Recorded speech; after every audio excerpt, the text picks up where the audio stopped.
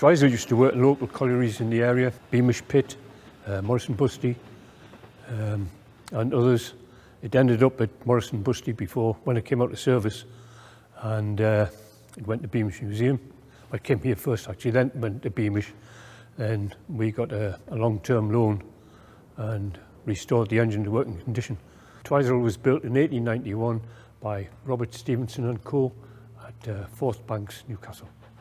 It's one of our most uh, prestigious locos and one of our most powerful locomotives here. We've run it here for over 10 years now.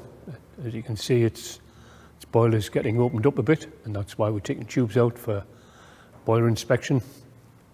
And hopefully by Uh, next year, we'll have it back in service.